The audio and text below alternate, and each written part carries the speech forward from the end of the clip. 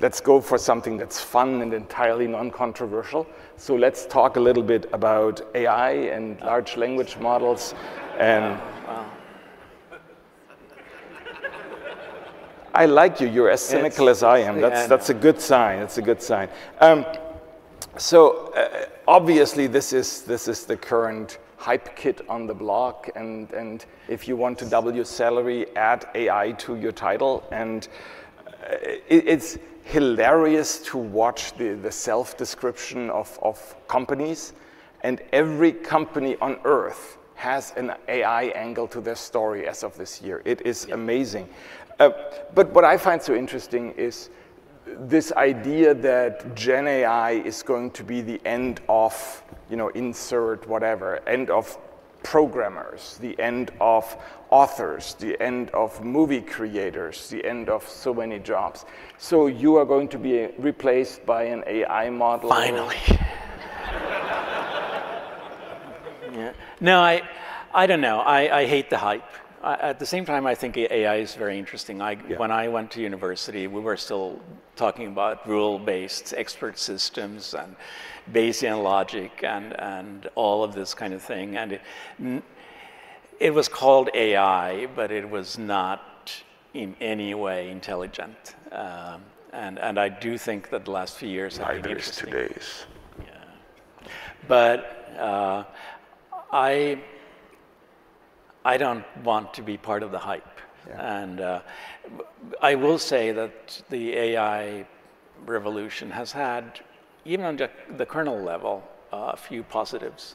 For example, uh, a company like NVIDIA, who is not exactly famous for being great at, at, interacting with the kernel community, has actually been much more active and, and been involved in the Linux memory management code because suddenly they start caring about Linux when, when they are selling a lot of AI hardware. Mm-hmm. I mean, it used to be crypto and, and it's still obviously GPUs. And, and it's being used in, in big servers and running Linux. So it has actually had a positive impact, but my personal opinion is let's wait 10 years and see where it actually goes before we make all these crazy announcements of your job will be gone in five years. Well, I think we already see lasting and, and almost irreversible change happening, happening through many of these AI tools, not on the hype Gen AI front, but just at the, in the tools that make our lives better and easier.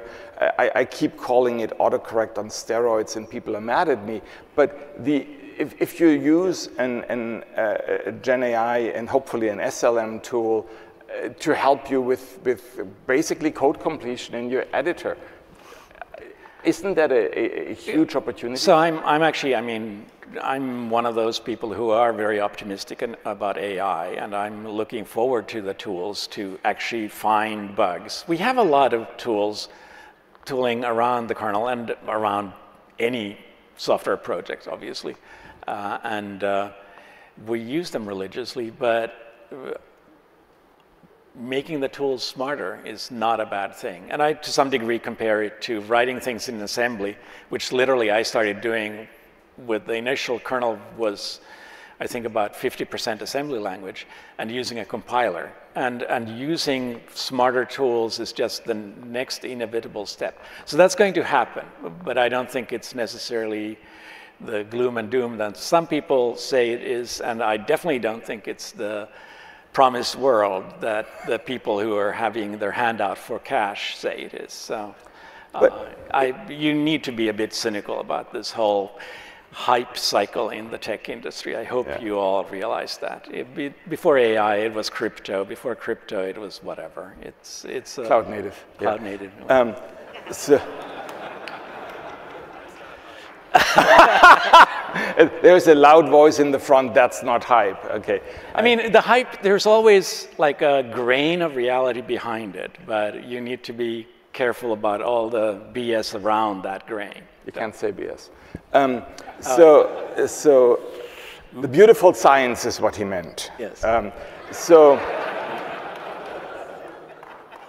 the, I look at these tools and I look at, you said assembler, and then we talk about compilers. Then we talk about things like Sparse, a compiler that tries to find certain kinds of bugs. We talk about Julia to do code refactoring. We have had, for the last 30 plus years, a sequence of tools that helped make development better and more robust. And in, in that lineage of things, I, I, I, hope there is really cool stuff coming down. Yeah, I mean, um, we have tools that do kernel rewriting uh, with very complicated scripts and pattern recognition and things like that. And, and that is actually literally why I think uh, AI can be a huge help because some of these tools are very hard to use because you have to specify things at a low enough level that the natural reaction would be to, hey, can we make this a bit easier and automate more of it? Uh, so, so yes, I, one, one of the interesting angles that this whole large language model and, and the, the training data brings up is the role that data plays in, in our modern world, where it, we all talk about open source, about the source code, the algorithms being available, but open data really is kind of that, the, almost the more interesting question. No, it's not. Well, I mean, it's not to me, and, and actually, I'd like to clarify that, I mean, the LF obviously has open data projects, and to other people it's more interesting. And that is, I think, the whole, for me, the point of open source is that different people are interested in different things. And, and uh, I was always interested in the low-level nitty-gritty of how the CPU actually works, which is why I'm working on the kernel still. But, uh, but yes, you're right that in many situations, what is important is the, is the data that you then use to generate pattern, find patterns and generate new interesting information with. But, but to me, that, that's not what I tend to do. And yeah, there is that saying, beautiful science in, beautiful science out. Mm -hmm. Please translate.